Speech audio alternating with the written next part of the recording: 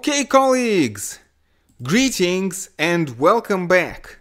So, today I want to talk about a text which I find extremely important for our present moment. And uh, um, this is a text by John Hobson um, on imperialism, the text which has been written in 1905. Well, it's written in 1902 and then published, the second edition, the standard edition is published in 1905.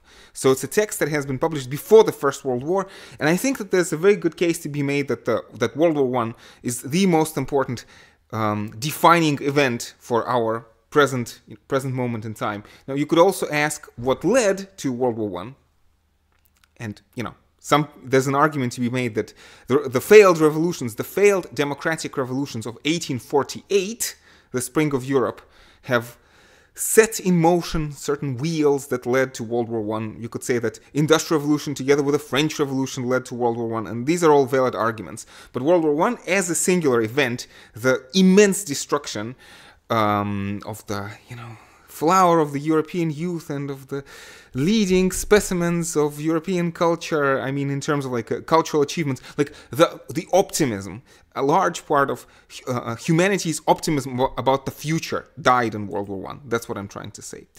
And um, so there's this highly important text which I want to talk about, um, and this is by again by John Hobson. And I'm gonna I'm gonna we're gonna actually read we're gonna read an article which I used to assign for many years now. So the reason I assigned this article is just because I think it's um it's a very easy article to read. It's a summary of Hobson with the quotations because I want to keep this as short as possible. And the article is by Berch Berberoglu, who is uh, an American, well, Turkish, Turkish-born American professor of international relations at the University of Nevada, uh, Reno, Reno, Reno, Nevada, something like that. Uh, uh, I'll give bibliographical details in a second. So um, there's a million things I want to say, but let me get into the text, and then like, perhaps this is not the last time. I, I, I already have. Mm, keep in mind, I keep I, I like talking about Hobson, and I do talk about Hobson from time to time, just because I think Hobson is so immensely important. Like he's, I guess, like uh, um, I think John Maynard, Maynard Keynes held Hobson in high regard, and um, also, Hobson is famous because Lenin quotes Hobson a lot. But Lenin is complicated and controversial. Even if you don't like Lenin, I mean, Hobson was not a Marxist. He was a liberal and a socialist at the same time, which was a normal combination back in the day. Um, and we're gonna so we're gonna we're gonna see an argument which looks to some extent like a Marxist argument, but, but if you're allergic to Marx, if you hate Marxists, this is not per se a Marxist argument.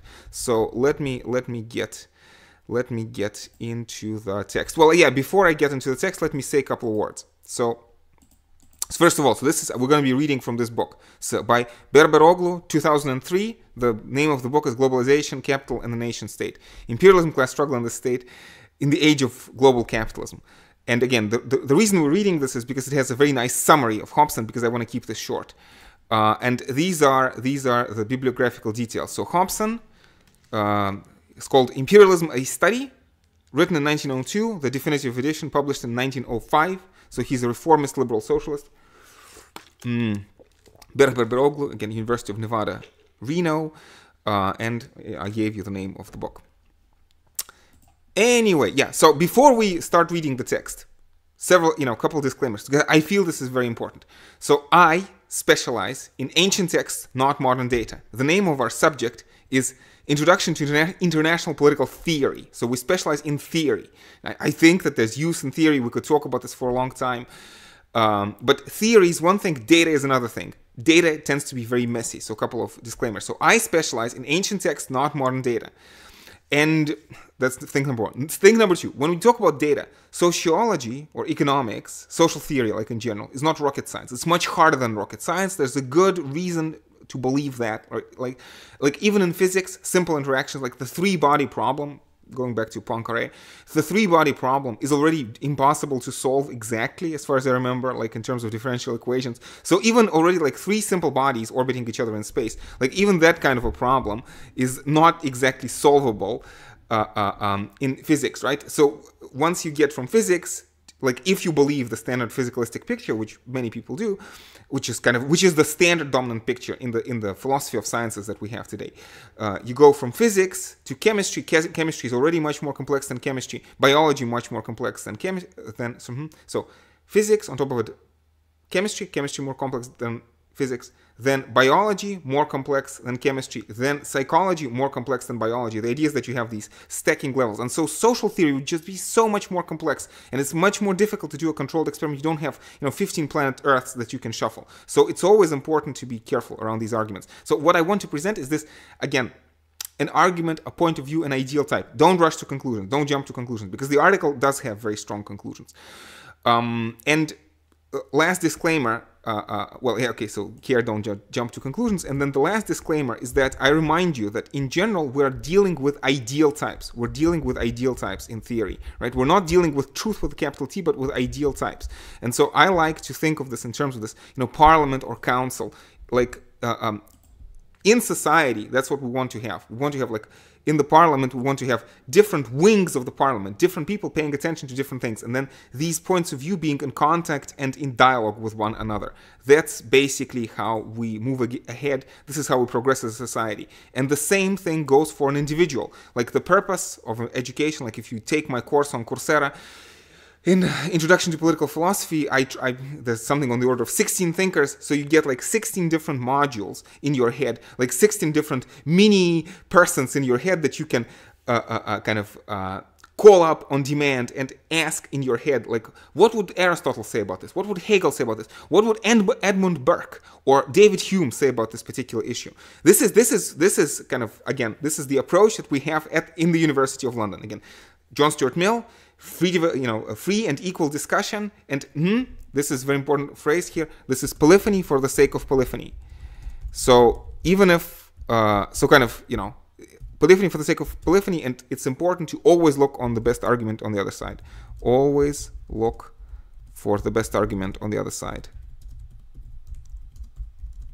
And um, this is true for the text that we're going to be looking at or perhaps if you find this text uncongenial, then it's true kind of against the text, right? So it's like if these, like if um, if something doesn't sit right with you, like like if you don't, if you, if not gonna, if you you're not gonna write, if you, if you are not going to like the conclusions that the text presents, then you should be open to the text still because you want to find in this text arguments against your position. That's on the one hand. On the other hand, if the text that we're going to read, if you agree with Hobson on everything, then the proper philosophical thing to do is to look for the best arguments against Hobson. Okay, that's the that's the ethics, pedagogical ethics of the University of London. Um, so without further ado, let me jump into the text. So, and I, again, I find this a deeply important text. It's the the the, the um, the rhetoric is very simple. So so let's you know we'll start and we'll see how it goes. I'm, I'm i guess I'm going to read large chunks of it. Mm. So we begin the discussion with an examination of the work of an eminent British economist, John Hobson, whose work Imperialism: A Study, again second edition published in 1905, played a key role in the formulation of much later arguments developed by Lenin. Yes, so so um, Lenin is kind of Hobson is most famous as a predecessor for Lenin, but he's esteemed in his own right. Again, Keynes, for example, was a fan of Hobson. So, um, do you need my face? Do you need my face here? Let me, let me perhaps just focus on the text. Um, so imperialism, Hobson writes at the turn of the 20th century, implies the use of machinery of government by private interests, mainly capitalist, to secure for them economic gains outside the country. Mm-hmm. So immediately, kind of, uh, um, those of you who are um, attuned to Rousseau, this difference between private interest corporate interest, interest of the section of the population versus the interest of the country as a whole. Uh, again, I, the assumption behind Marxism, between, behind classical liberalism, people like Adam Smith or people like John Stuart Mill, is that 99, well, overwhelming proportion of the population has overwhelming interests in common, right? So we're talking about these private sectional interests against the interests of the majority. And in fact, as we're going to see in Hobson, even these private interests are potentially undermined. And of, of, course, if you think in terms of World War One, yes, was World War One in the interest of the ruling class? Well, it's, it's a difficult question, but many people belonging to the ruling class, to the ruling classes of the European powers, have suffered. I mean, tremendously. You know, lost their fortunes, lost their children, lost their lives in World War One. So it was not not in anybody's interest. And of course, World War One is the immediate context for what Hobson is writing because he's writing on the eve of World War One, foreseeing that World War One is going to happen. And this is a theoretical explanation in Hobson of why World War One is going to happen. That again, Marxists are going to expand on. Um, but of course, we're reading this text today in the 21st century because we feel that these arguments are still valid and I think you will see, and students tell me that, again, I don't specialize in contemporary, let's say, American politics, but people tell me, students tell me that this is very readily applicable to present day situation as well. Anyway, so let's continue. So the economic root of imperialism is the desire of strong organized industrial and financial interests to secure and develop at the public expense and by the public force private market markets for their surplus goods and their surplus capital. So all of this is very important. So we're talking about public expense, for private gains. So socialize the cost, privatize the benefit. Socialize the cost, privatize the benefit. Why? Why are we doing this? Again, this is an argument which the Marxists have developed, but it's there uh, in people before Marx, in people like um, David Ricardo. This idea that um, well, I mean, economists, mainstream economists before Marx knew that there was a tendency for crisis of overproduction. So we're talking about surplus goods and surplus capital. If if this was a longer, if I mean, uh, feel free to ask me. But of course, for Marx, these are two parts of the same coin. Precisely because there's exploitation in the technical sense. Precisely because there's exploitation in the technical sense. That's why uh, you get at the same time surplus goods and surplus capital at the same time. Um, and in fact, I guess uh, in a preliminary fashion, uh, this, the amount of surplus capital is approximately equal uh, to, to the surplus goods, the goods that you cannot the, you cannot sell because you have taken capital out of circulation, and the uh, capitalists are not, are not gonna uh, the bourgeoisie are not gonna spend the money, they're not gonna consume, they're gonna try to invest, and that's why because they're not consuming but trying to invest. That's why you get surplus goods and surplus capital at the same time. Anyway, um, let's continue. So imperialism, whether it consists in the further policy of expansion or rigorous maintenance, mm, so so expansion, colonial expansion, or the rigorous maintenance. So you know. Uh, uh, uh, uh the maintenance of um, colonial oppression, colonial domination, of all those vast tropical lands which have been earmarked as the British spheres of influence. So, British spheres of influence today can talk about other spheres of influence, and mm, well, um, some people like Hardt and Negri, so um, they would talk about how uh, today the only real empire is the global capitalist empire, and the capitals of this global capitalist empire are in Washington, in London, in Brussels, but it's a single unified, uh, well, more or less single, more or less unified global capitalist empire, which is uh, uh, uh to a large extent, you know, sustained by um, U.S. military power um, and then kind of Hardt and Negri would say it's not exactly appropriate to talk about, uh, uh, well, kind of uh, uh empires besides this one, that there's one empire. And, you know, this raises interesting questions, problematic questions about multipolarism. Um, questions I'm honestly, I, my mind is not yet made up, so these are difficult questions. I'm going to leave it for a future discussion, but it's, you know, it's a question to keep in mind. Anyway, so we talk about, again, uh, uh um, imperialism, further policy of expansion, rigorous maintenance of the possessions. And this, this could be, of course, direct military power, or this could be soft power. Like you, you can have like outright possessions, or you can have like uh, um, patron-client relationships. I mean, students of international relations will understand. Anyway, so and so uh, uh, um, Hobson says that imperialism implies militarism now and ruinous wars in the future. Again, he's writing in 1905. This is very, very, very prescient. The ruinous wars in the future, of course, is going to be World War One. Um, so the main pur purpose of Hobson's study is to demonstrate that the new imperialism has an has an insignificant. Oh yeah. So so so what Hobson is trying to do is he's trying to argue that uh, uh, that actually um, uh, imperialism is not really in the interests of the vast majority of the population. Like the vast majority of the population does not benefit from the imperialistic policies, right? Um, so he, he, he calls it he calls it an irrational and unnecessary policy. And so when he says it has an insignificant commercial value, he means that the private interests can gain significantly, you know, by uh, public expenditure, but uh, again, uh, yeah, so socialize the cost, privatize the benefit. There's public expenditure, and then there's um, private gains. But as a whole, to the nation, it's a detriment. Uh, peace dividend. Think of think of this phrase, peace dividend. Of course, uh, again, if if you talk about this in the context of contemporary situation, you have to think. You know, one example that immediately immediately comes to mind is war on terror. The U.S. led American war on terror right? And uh, what was the cost? And again, this phrase about a peace dividend, peace dividend. How much money, how many resources, how many lives were spent, how much goodwill, American goodwill was destroyed in the process of these wars. And Hobson is going to talk about something very similar. And the question, the big question is, was it worth it, right? And mm, realists like John Mearsheimer, for example, would ask specifically this question, like, is this money well spent? Like like was was this a uh, um, was this a sound policy for the U.S. But anyway, let me continue with Hobson. So the absorption of so large a portion of public interest, energy, blood, and money in seeking to procure colonial possessions and foreign markets would seem to indicate that Great Britain obtained her chief livelihood by external trade. Um, so, and he's going to argue, no, that's that's not that's not where Great Britain makes its livelihood.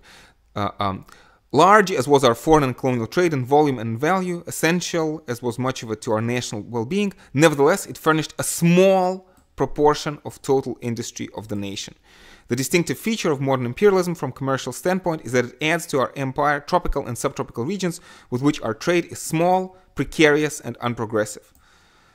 Uh, the entire volume of our export trade forms an utterly insignificant part of our national income, while the expenses, so it's an insignificant part of income, it's an insignificant part of income, but it's a very significant part of expense. Expenses connected directly and indirectly with the acquisition administration uh, uh, uh, must swallow an immeasurably larger sum, right? So again, private benefits, public costs. Um, so it's an unwise policy from the standpoint of British economy and society, but also in terms of exploitative consequences in the colonies, which arouse the sentiment of the oppressed people. And again, so people talk about, for example, anti-Americanism today. Um, if we extrapolate Hobson's argument, right? So you, are not just spending blood and money, but you're also spending goodwill, blowback, blowback, and you're generating blowback and bad will, right? Uh, negative sentiment against you. Mm.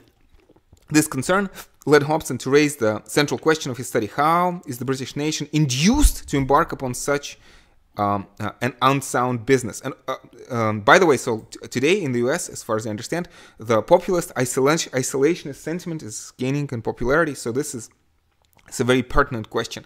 Like uh, Hobson asked asked this about the British, you could ask this about the US today.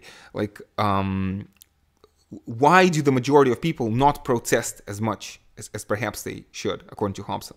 Again, in terms of their protest merely based on their own self-serving interest.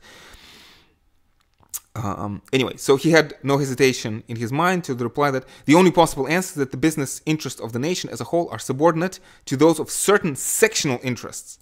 So again, the if you want in Rousseauian terms, the general will is subsumed to the corporate will, the sectional interest, that usurp, usurp control of the national resources and use them for private gain. Mm-hmm. So sectional interest usurp control of national resources and use them for private gain. Again, this uh, privatize uh, um, privatize the benefits, socialize the costs. This is basically what I keep repeating. So although the new imperialism has been bad business for the nation, it has been good business for certain classes and certain trades within the nation. And while Britain's imperialist course appears irrational from the point of view of nation as a whole, again, say hello to Rousseau's general will, an analysis of the relationship between business and politics will show that imperialism viewed from another angle um, is far more rational, you know, but only for certain classes. The aggressive imperialism is not in the main the product of blind passion of races or of the mixed folly ambition of politicians. It's far more rational. Mm-hmm. So rational, so rational enough from the standpoint of certain. Okay, sorry, this is a re- repetition, repeating the same the same line. Rational, but oh, it, imperialism is rational, but only for certain classes. Perhaps you could say today, in terms of military-industrial complex, very few. Like in the U.S. today, sixty percent of the population live from paycheck to paycheck. Think about this in terms of peace dividend. Peace are are majority of Americans gaining peace dividend? Or is it that America gets generates a tremendous amount of badwill and blowback around the world, and it's only basically good for the shareholders of the military-industrial complex? So the implications of Hobson's analysis thus far lead us to conclude that there exists in the national economy interests that benefit directly or indirectly from imperialist expansion. Whose interests are those? Um, so certain definite business and professional interests feeding upon imperialistic expenditure are thus set in opposition to the common good. The common good. It's a word I use a lot. Um, anyway, certain big firms engaged in building warships. So basically, we're talking about military-industrial complex. This is just straightforwardly military-industrial complex. MIC. Um, um, anyway, equipping and uh, uh, equipping and calling them manufacturing guns, rifles, ammunition, planes, and motor vehicles of every kind, supplying horses, wagons, saddlery, food, clothing for the services, contracting for barracks and other large irregular needs. Think about this again, military industrial complex. And again, think, you know, Hobson is writing in 1905 he is not, you know, he's not a paid agent who writes against the U.S. policy today, right? This is this is why I think it's very good uh, uh, to take a long view of things, right? It's it's it's it's good to take a look at, uh, uh, uh so to speak, ancient ancient theory, if you want, right? Uh, because because it, it gives it gives a certain well I, I mean 1905 is not that ancient but you understand it gives you benefit of hindsight right? And and you can suspect people of particular like um, you can suspect certain actors in the on the on the world stage today as being kind of compromised and just being you know uh, vehicles or vessels for particular kind of uh, kinds of propaganda. But I don't I don't think that Hobson here engages in any kind of propaganda. I don't I don't think he was paid to to say these things. This is like his honest assessment as a British citizen.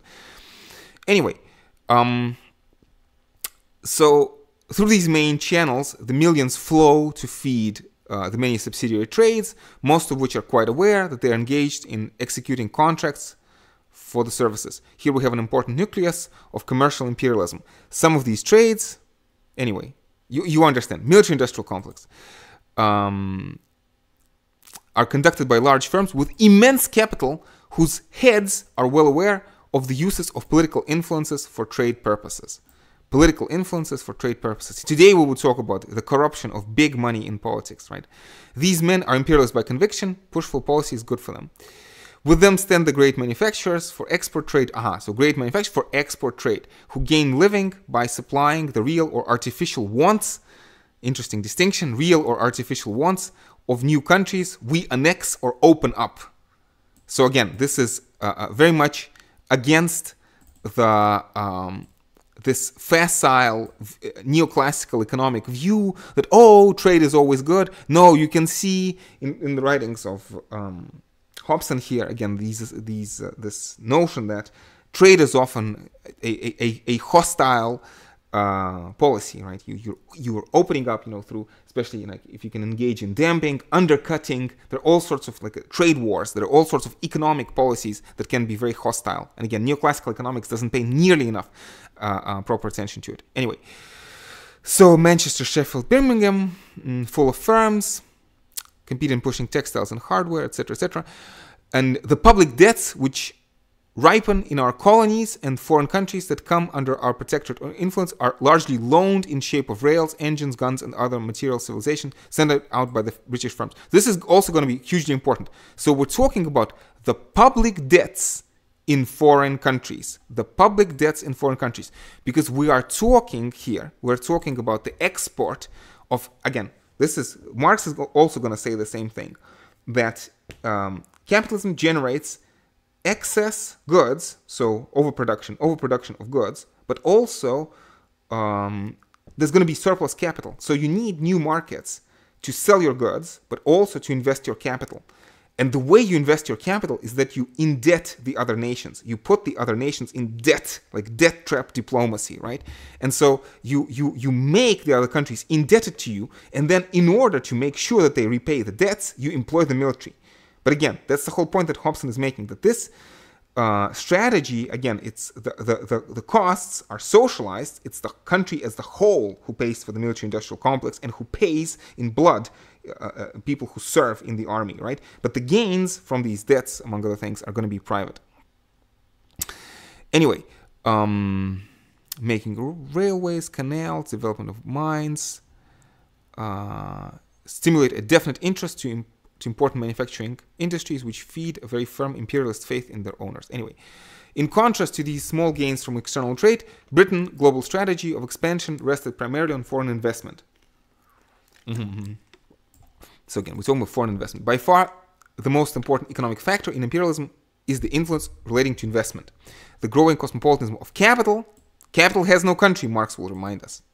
And that's why labor, that's why workers have to unionize across state lines across state. That's why workers of the world have to unite if we are to defeat cosmopolitanism of capital. Mm-hmm. Um, it's the greatest economic change of recent generations, cosmopolitanism of capital. Every advanced industrial nation has been tending to place a larger share of its capital outside the limits of its own political arena in foreign countries or in colonies and to draw growing, growing income from this source. And again, kind of you have this notion, right? at home, there's not enough money. There's not enough money for the working class. Again, 60% of Americans live paycheck to paycheck. But no, we're going to invest abroad because there, presumably, we can secure better returns on our investment. And I, I, mean, like in general, the whole idea that Hobson propagates is that empire abroad undermines democracy at home. Emp- I, sh- I should have actually begun with this. Empire abroad undermines democracy at home. We'll come back to this phrase. So, the modern foreign policy of Great Britain has been primarily a struggle for profitable profitable markets of investment. And again, I think you can find very. I'm, I'm again, I specialize in ancient texts, not in modern data, but I do. I, I feel that this analysis, to a very large extent, uh, still applies today. That's what I want to say. But but again, those colleagues, those of you who specialize in data in empirical analysis, you can you can tell me how right or wrong I am. In in in my my intuition is that this applies directly, but you can feel free to correct me if I'm wrong or, or point me to studies or whatever you want. Again, let, let, let's have a dialogue. Um, to a larger extent, every year Great Britain has, uh, has been becoming a nation, uh, nation living upon tribute from abroad, nation living upon tribute from abroad, and the classes who enjoy this tribute have had an ever increasing, so not everybody enjoys the tribute from abroad, but the classes who enjoy this tribute have had an ever increasing incentive to employ the public policy, the public purse, and the public force to extend the field of their private investment. So the classes who enjoy this tribute. So again, pu- public policy, public purse, public force to extend the field of their private investment. Let me repeat this again. Private private benefits, public costs. Public costs, private benefits. Empire abroad endangers democracy at home. This is perhaps the most important fact in modern politics, and the obscurity in which it is wrapped has constituted the gravest danger to our state. Obscurity is going to be a very important point we'll get to. Aggressive imperialism is a source of great gain to the investor who cannot find at home a profitable use he seeks for his capital and insists that his government should help him to uh, profitable and secure investments abroad. So, same thing. So, Hobson's analysis of central interests involved in imperialist expansion undoubtedly rested on the investor. Think about it. Global capitalism, you know, glo- global investor class. What is what is the role that they play today? Um, especially in you know, starting and perhaps p- perpetuating wars. Again, as a question, as a question. But as he later pointed out, in order to make the analysis complete, it is at least equally important to bring it in the special role of the financier and his specific relation to the investor. Okay, financier and investors. What? Okay, let, us see. If the special interest of the investor is liable to clash with the public interest, and induce a wrecking policy, still more dangerous to the special interest of the financier, the general dealer in investments. These great businesses, banking, brokering, bill discounts, um, loan floating, company promoting, form the central ganglion of international capitalism. You can see why Lenin liked this uh, work. Speaking of the financiers, there, there is not a war, a revolution, an anarchist assassination, or any other public shock which is not gainful to the financiers. They are harpies who suck their gains from every new forced expenditure and every sub- su- sudden disturbance of the public credit.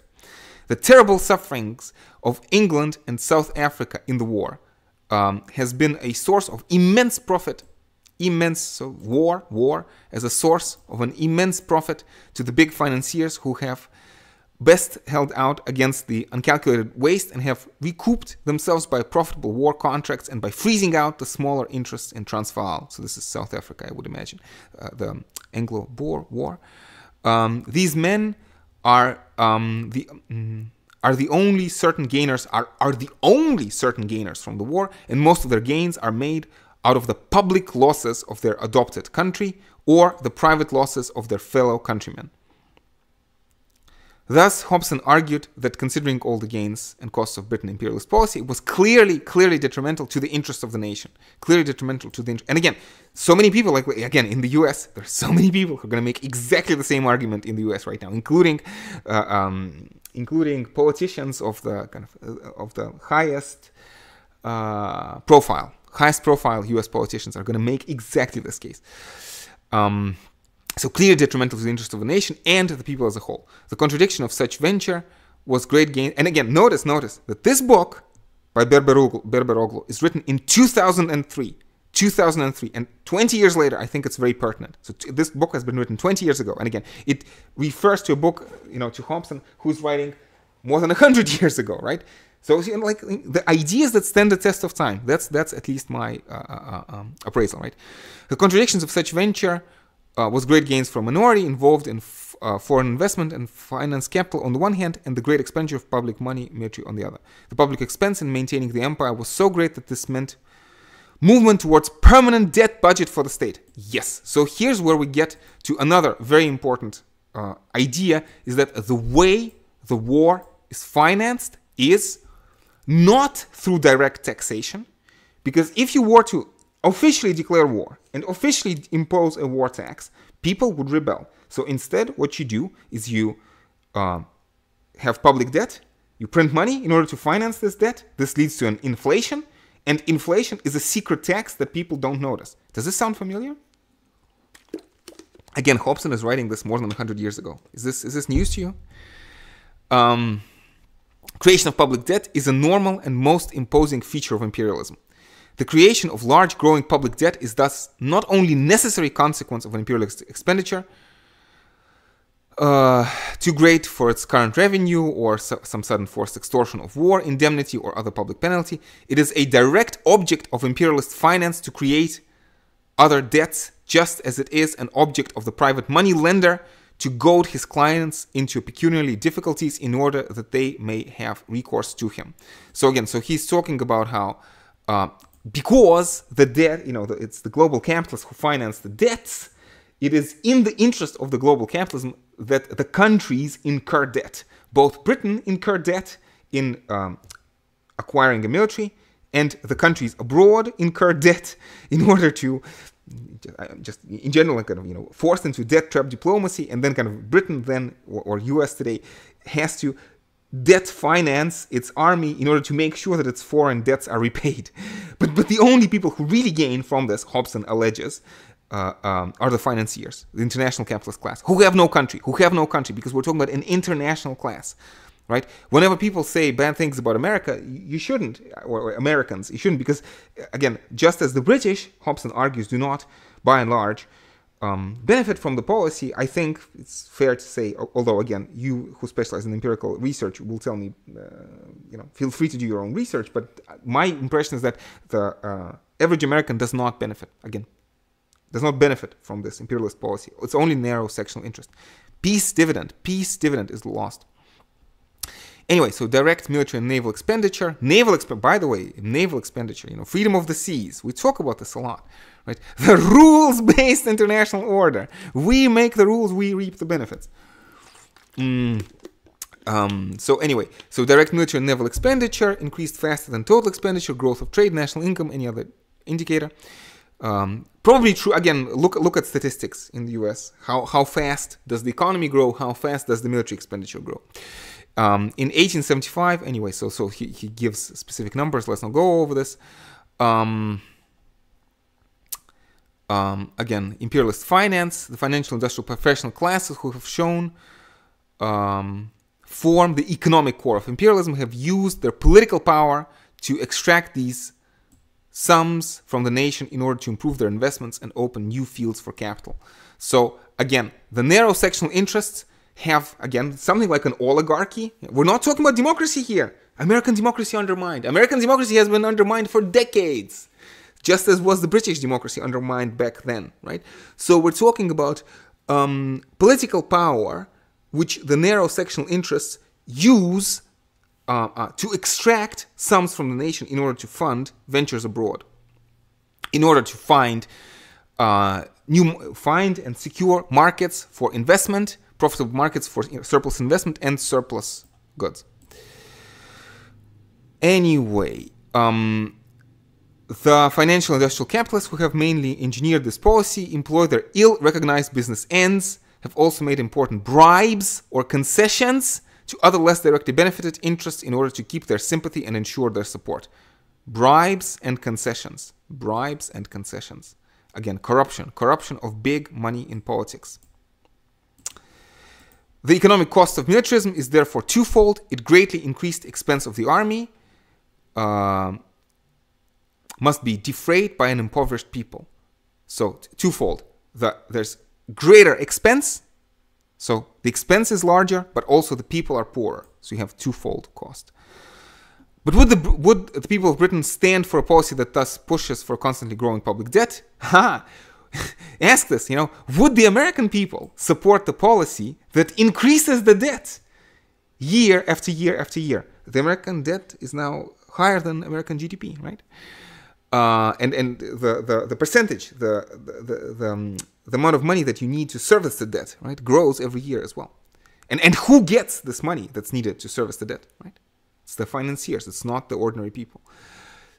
Not 60% of the American population who live paycheck to paycheck, definitely. Anyway, so increasing militarization, long run decline in the standard of living, long run decline in the standard of living of the nation. People say people talk about populism as if it's a bad thing. No, I think if you read a, you know, if, if you understand populism the way that, for example, uh, uh, like in the sense in which um, Hobson here is writing, this is the kind of populism I definitely can get behind if, if of course, if this analysis is sound empirically, which is again, I specialize in theory, not in, empirical research, would they be willing to finance such a po- policy had they been told of its actual dynamics? Again, this notion that this is concealed from the British public, just as it is concealed from the American public today. We are the capitalist imperialists uh, were the capitalist imperialist forces openly to shift the burden of taxation on the shoulders of the people. So if you had a direct war tax, then people would rebel. It would be difficult under popular forms of government to operate such an expensive policy. The people must pay, the people will pay, but they must not know that they're paying or how much they're paying. And the payment must be spread over a long period of time as possible. Inflation, inflation. The way you do this is through inflation. In inflationary tax. Okay. Hobson detailed observation on the nature, causes, and manifestations of modern imperialism led him to the following inescapable conclusion. Our economic analysis has disclosed the fact that it is only the interest of competing cliques, cliques of businessmen, investors, contractors, export manufacturers, and certain professional classes that are antagonistic. It's like, again, on the eve of World War I, they talk about France versus Germany versus Britain versus Russia. Uh, Hobson says, no, people have interests in common. Again, Hobson is not a Marxist, but it's you can almost hear an echo of workers of the world unite. The large group of people, again, I, have said this in a video a couple, uh, a couple weeks ago or something like that. I say it is my strong conviction that the overwhelming number of people have overwhelming interests in common. It is only the elites whose interests are antagonistic. And these elites, these cliques, usurp the authority and voice of the people. Usurp the authority and the voice of the people. They use the public resources to push their private interest. Again, we talk about this public and private. And spend the blood, money of the people in the vast and disastrous military gain. And now, very importantly, they feign national antagonisms. They feign national antagonisms which have no basis in reality. It's like Anybody who opposes this kind of uh, is called a traitor. Like, you don't want America to spend money on the military? Do you want China to win?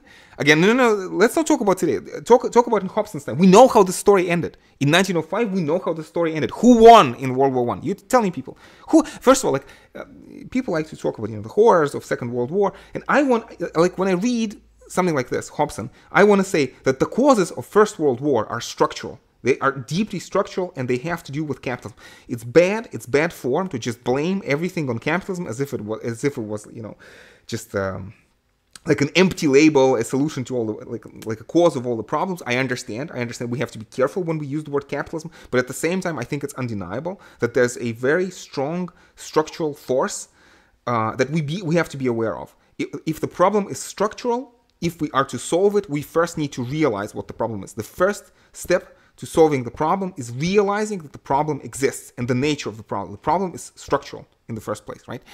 And uh, again, in 2020, like in, in the 21st century, we don't know how the how the uh, uh story is going to end. But in again, who was to blame for World War One? Who was the evil dictator or something like that? Who was the evil person in World War One? Who like the evil, inhumane conquerors who are supposed to be dealt with? I, I don't think we talk about World War One in these terms anymore, right? World War One is an unmitigated tragedy, a disaster. Nobody won in World War One. Everybody basically lost. Maybe some private interests gained, but by and large, all the people who died, all the things that were destroyed. If you think in terms of the environment, climate change is, is uh, uh, controversial these days, but the think of the destruction of the environment. Think of the poisoning of the, of the environment, of just destruction of lived environment and destruction of life and destruction of capital and all of these resources that could have been used for productive purposes. All of these resources that could have been used to treat diseases, to you know advance technology. Instead, instead, just people uh, you employ industrial means to slaughter each other in World War One. I. I don't think that anybody really won in World War One. And in, in my Marxist analysis would be that all the horrors of the 20 the, of the 20th century and especially of Second World War have to be traced to World War One. And there's this mythology, Manichaean mythology, that there are evil people who do evil things for the sake of evil, and that's not what I see in Hobson's article. It's not evil people who do evil things for the sake of evil. No, it's a structural logic because you have capitalist system which puts private gains against public interest, against the common interest. And I refuse, again, feel free to push back against me. Let's talk about this in detail in the seminars or what have you. Uh, um, but like, I refuse to subscribe to the Manichaean mythology about evil. Like, I, in, in some sense, I don't believe that evil exists. Hobson is not talking about evil. He's talking about a, a system which is broken, in which private interests take uh, uh, private interest usurp the voice of the people. And it, it's a it's a structural problem. It's not it's not because particular people are evil. And structural problems need to have structural solutions. Now what the solutions should be we'll talk about that in a second. But i wanted to get this out. Anyway so um, so you have the feigning of national antagonism. And again this is why i talk about how nationalism is the probably the biggest enemy of socialism. Uh, biggest enemy of so or perhaps biggest enemy of democracy. Again empire at home uh, uh, empire abroad empire abroad through this nationalist militaristic rhetoric undermines democracy at home. Empire abroad with this nationalistic militaristic rhetoric undermines democracy at home. And you cannot have a proper democratic discussion if anybody who doesn't who doesn't agree with you you call the foreign agent. Like a, like a spy for the enemy. Okay? And again that's that's why it's good to have hindsight with, with the benefit of hindsight, we know that Hobson was not a spy. He was not a German spy. He was not a French spy. He was, as far as we can tell, he was a, a genuinely a, a British patriot. Anyway, so it is not to the interest of the British people, either as producers of wealth or taxpayers, to risk a war like World War One, right? which was definitely not in the interest of the vast swaths of the population but it may serve the interest of the group of commercial politicians to promote this dangerous policy. And by the way, uh, uh, again, I, this is empirical research I haven't done, but I'm sure, I'm sure that there were sectional people, there were individuals, and there were corporations that probably benefited from World War One and World War Two, who got richer, who got disproportionately richer. I'm pretty sure that's the case. The, uh, humanity lost, but particular individual interests triumphed. Mm. And again, I think it's a structural logic. I'm not trying to blame the. I'm not. I, this is not a conspiracy theory. Again, uh, sociology is not a conspiracy theory. We're talking about structural logic and, and structural systematic fallout of collective action. Anyway, But then also, Hobson says, war represents not the success but the failure of this policy. Of course, Hobson realizes this, and I think he's right, that in fact, you know, the militarism and nationalism is all fine, but nobody really wants a war. Like, you know, you have hawks in the US who uh, warmonger against against China, but if the, the, nuclear war actually broke out between the US and China, I don't think that they would actually win. So they want militarism, but they don't want all-out war, right? War, and and I think this was true for uh, militarists and war, warmonger in Britain at the on the eve of World War One. Anyway, so war, however, represents not the success but the failure of this policy.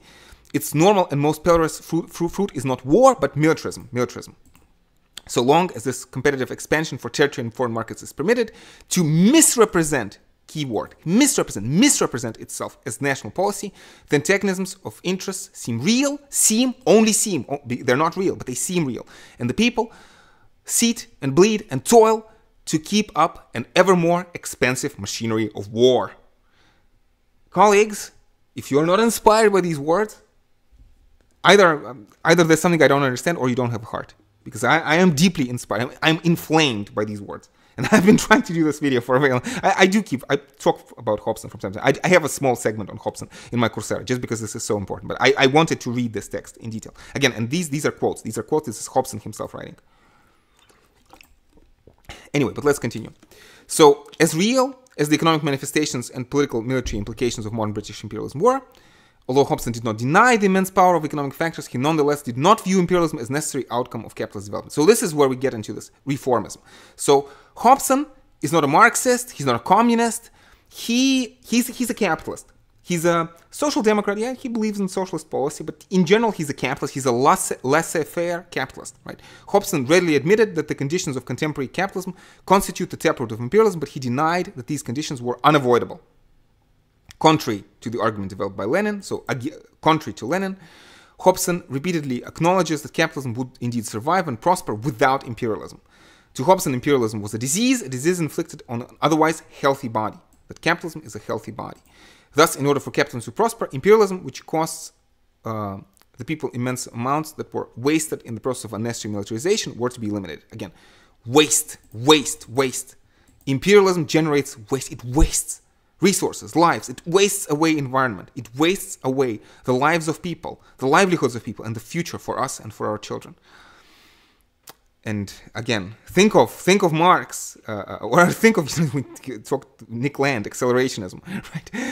Uh, uh, uh, capitalism is the last is is this hopefully you know according to Marx the last stage of human prehistory. Human beings don't rule themselves. We are wasted away. Our future is wasted away because of the structural logic. It's not people who rule humanity. It's not it's not it's not us who, who we sat down and we decided that this militarization is a good policy for us. No, no, no. It's a structural logic. It's a failed, perhaps, prisoner's dilemma game. Mm.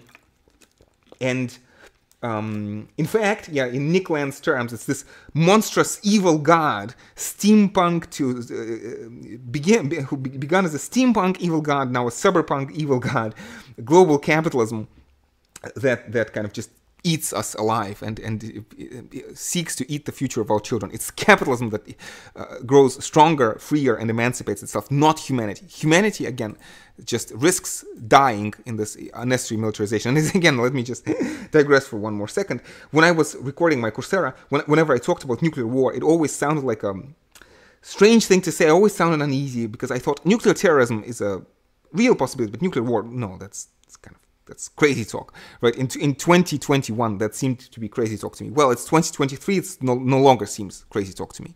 I, I, I wish I kind of live here beautiful city of Athens, Greece. I pr- we, we, we philosophers, we have our gods. We pray to Apollo and to Athene.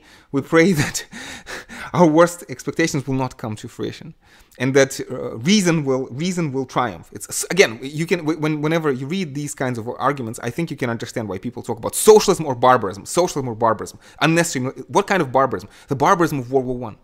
Anyway, and this change could come, thought Hobson, through political pressure by taxpayers that would lead to the needed reforms. We'll see, we'll see, we'll see. Will American taxpayers, because again, America spends uh, something on the order of like uh, in certain years it spent more than the rest of the world combined.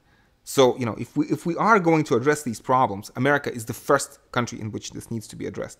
And if the American taxpayers would be able to curb the military spending, to rein in the military-industrial complex, which hurts Americans first and foremost. Hobson would say. Hobson would say hurts Americans first and foremost. Perhaps there's hope for humanity, but that's that seems to be that seems to be the solution that Hobson envisions. That uh, uh, taxpayers in first world countries, in Britain of his day or in America or of our day, need to pressure politicians and reform the military, uh, uh defund the military-industrial complex.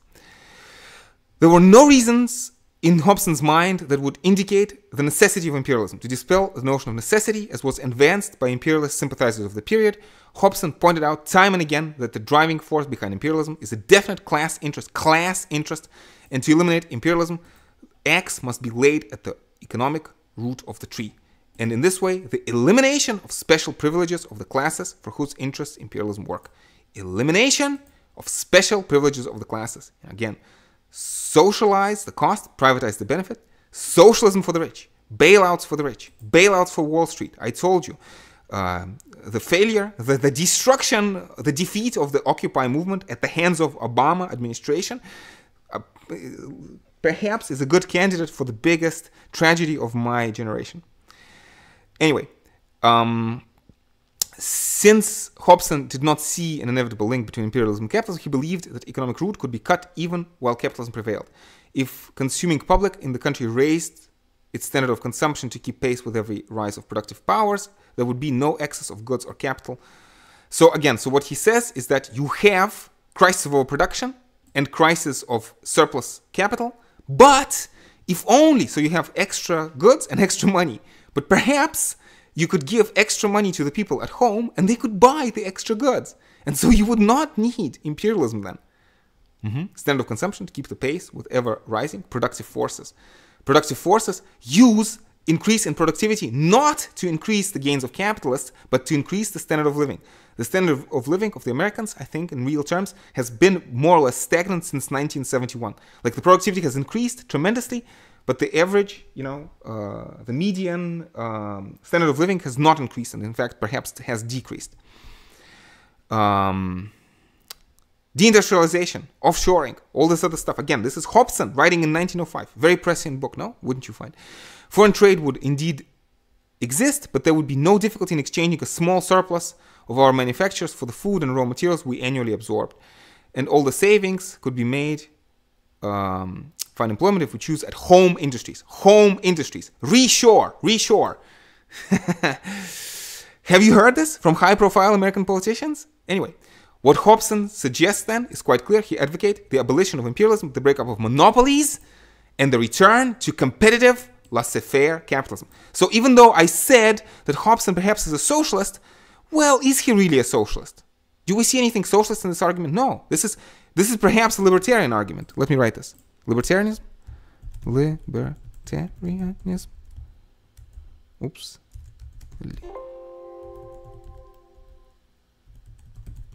No, no, no, no. Wouldn't you find? Again, return to competitive laissez-faire capitalism. Breakup of monopolies, break up, you know, the, the power of the oligarchy who corrupt the political process and return to competitive laissez-faire capitalism. Interesting, interesting. Again, again, again. This is this is not Marxism. This is not Marxism. This. Let me repeat this once again. And it's like um, many of my students, like I, I know that anarchist capitalism is like or libertarianism is in vogue these days. Uh, colleagues, my students who are who are interested in anarchist capitalism, doesn't this sound like an anarchist capitalist uh, argument to you? Isn't there kind of common ground for us? Anyway, these are interesting uh, topics for further discussion. I'm sure there's a million other things I could have said, but I think I've said enough. Um, I think I'm going to end it here. Uh, thank you, colleagues, so very much for your uh, company. I hope you have found this to be a useful stream. I highly recommend Hobson if you want to uh, uh, uh, um, know more about this. There's a bunch of videos available on my channel specifically about Hobson and in general about how Hobson um, fits into a larger history of political theory, history of social theory, history of international political theory. Feel free to check this out. And of course, like in, in general, the uh, most important framework for my understanding of all this is my Coursera course, which is Introduction to Political Philosophy. All the lectures are available here on YouTube. Feel free to subscribe, leave a like, leave, leave a comment, or something like that. Um, so uh, uh, actually, because this is live, I think I'm going to take questions now, but I'm going to stop the recording here. So once again, thank you so very much, colleagues. Take care, take care, and let's hope, let's hope. Again, socialism or barbarism. Let's hope that, uh, well, okay, uh, in in words of Hobson, it's return to laissez-faire capitalism, destruction of monopolies, or barbarism. Okay, let's let's reach let's say democracy, democracy or barbarism. Let's put it that way. Democracy or barbarism. Let's hope democracy will win. Thank you, colleagues. Take care. Okay, and since we're also streaming this, let me take a look at the chat. If anybody is writing anything in chat, no, there's nobody in the chat. I think that's okay, colleagues. Anyway, we're gonna finish this now here. I wish everybody all the best. Take care.